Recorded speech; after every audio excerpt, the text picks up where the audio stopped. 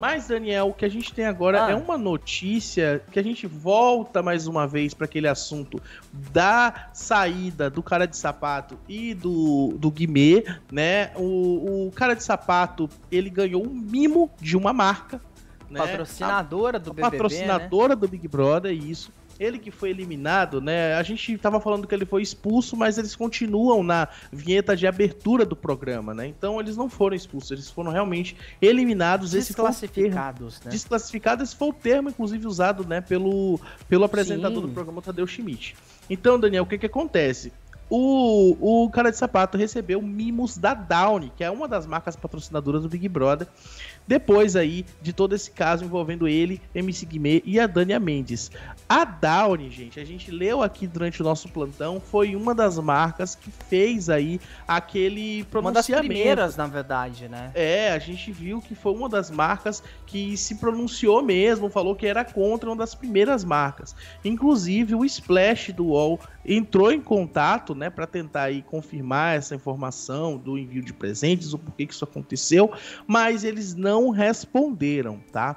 Na época, né, marcas como Mercado Livre, Magazine Luiza, Nestlé, Coca-Cola, Riachuelo, dentre outras, se pronunciaram e falaram ser contra o assédio e aquilo que a gente falou. É, eu acredito que essa expulsão, essa saída deles dois só aconteceu por conta das marcas. Agora, o porquê que a marca Downy deu esses mimos para o cara de sapato depois dessa expulsão, né? Aí fica realmente difícil da gente entender o como que entra, né, o contexto do que foi publicado por eles falando que repudiam assédio e agora esses mimos que foram enviados por eles mesmos. Inclusive, ele falou o seguinte, olha, é, agora um, um presentinho da Downy também. Olha lá, uma cartinha para fazer jus à Dona Lourdes, lembrar do cheirinho de casa e olha o que eu ganhei também, roupão do líder. Quem eu ia indicar, né? Se eu fosse líder hoje. Obrigado, vocês são incríveis. Disse então o cara de sapato que, assim, tá agindo como se ele tivesse sido um eliminado pelo Sim. público, né? É, um comentário ali ganhou um roupão do líder. Fica realmente um pouquinho esquisito, né?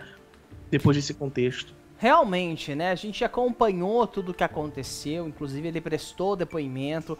Nós noticiamos isso aqui no nosso papo de TV. Você pode voltar alguns vídeos para acompanhar a cobertura completa desse caso. Como o Ítalo falou, nós fizemos um plantão no dia que aconteceu, no dia que a polícia abriu ah, o inquérito, né, para investigar esse caso de assédio ah, do cara de sapato e do a MC Guimê contra a Dania Mendes, né? Dania que voltou lá pro México e já está confinada de novo na Casa dos Famosos.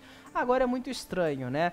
Mas é, é aquilo que a gente sempre disse, né? A, a- a expulsão dos participantes, do Guimê e do cara de sapato, ela sempre foi muito clara, né? A gente via ali na cara que se fosse pela direção do programa, muito provavelmente essas expulsões não teriam acontecido, que houve uma pressão por parte de todos os grandes patrocinadores dessa edição, exigindo ali em- entre linhas, né, repudiando o que aconteceu e nas entrelinhas e nos bastidores exi- exigindo que a Rede Globo tomasse uma atitude. Afinal pagaram muito caro para ter uma exposição de marca, para ter um benefício ali de publicidade e se associar a isso acaba fazendo tiro, claro, sair pela culatra, né? Então ele recebeu esses presentes aí do, da, da Downy, né? A, a a- empresa que era patrocinadora do BBB, se eu não me engano é da Unilever, né?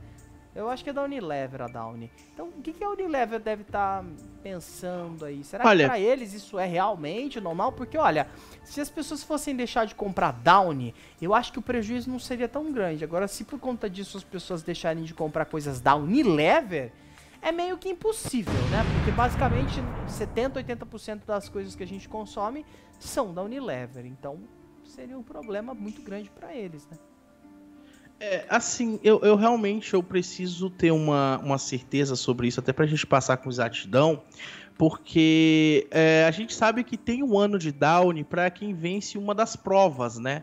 Talvez tenha sido por isso e é, que, que ele tá recebendo isso aí, né? Pode até ser que não Mas é seja um primo. complicado, é complicado É, porque é. se ele foi expulso, É, teoricamente exatamente. ele nem tinha que estar na abertura, Aí a tinha... culpa, a culpa já não recai sobre a empresa, a É. culpa já recai sobre a Globo, né? Sim, Porque assim, se- quando a pessoa é expulsa, ela tem que perder tudo que ela ganhou. Exatamente, Mas tá aí na eles falaram regra. que mantiveram, né, o contrato e tudo mais.